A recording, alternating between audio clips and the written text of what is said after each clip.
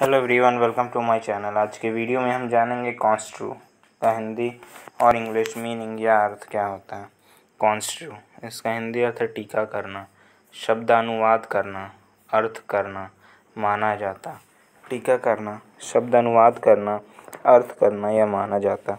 वहीं इसका English meaning है to understand the meaning of something in a particular way to understand the meaning of something in a particular way एक example से समझते हैं इसे example Her confident manner is often construed as arrogance. यह construed का मतलब है